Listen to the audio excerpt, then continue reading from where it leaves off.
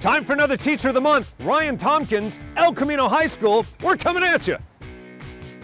You know, relating to the kids, obviously, you have to do that first. That combined with just having a lot of subject knowledge and, and just making sure that you're meeting all the different learner needs, you know, because all of them learn differently. Uh, I think everyone kind of starts teaching to themselves because that's how they think that everyone's going to learn, and then they realize everybody's different. So just meeting those needs and figuring out what those are, and then I think that's that's the key. so my son is one of his students, and he's done a ton of projects from uh, welding simple things to very complex apparatuses now that he's brought home and just absolutely loves it and wants a career in it. We are proud and honored to present a check to you as the ABC 10 Teacher of the Month for $1,000. Oh